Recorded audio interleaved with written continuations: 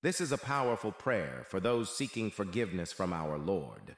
Be sure to send this prayer to someone who needs to feel the power of mercy from God.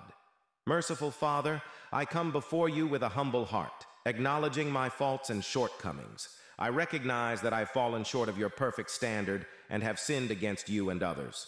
Forgive me, Lord, for the times when I have strayed from your path, choosing my own desires over your will. Forgive me for the words spoken in haste, the actions taken in selfishness, and the thoughts harbored in pride. Thank you for your abundant mercy and grace, which are new every morning. Your love knows no bounds, and your forgiveness is offered freely to all who come to you with contrite hearts. Help me to extend the same forgiveness to those who have wronged me, releasing the burden of bitterness and resentment. Grant me the strength to forgive as you have forgiven me, knowing that forgiveness is the pathway to freedom and healing. Thank you, Lord, for your unfailing love and forgiveness.